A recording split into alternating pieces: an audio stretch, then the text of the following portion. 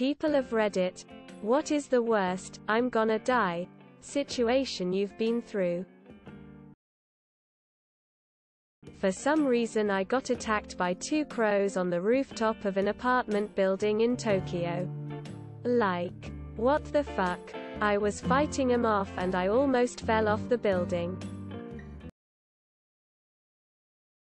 In a small aluminum boat in the middle of a remote lake in the wilderness of Ontario during a bad thunderstorm.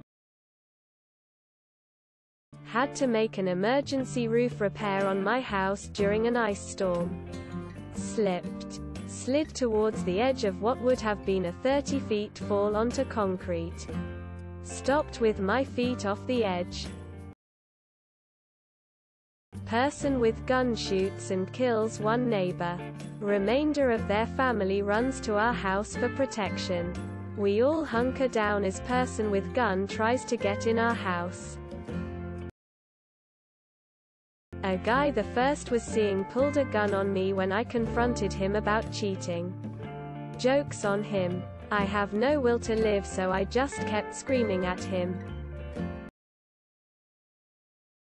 My first panic attack, followed by the other dozens of daily panic attacks due to that one. Don't forget to share, like and subscribe for more content.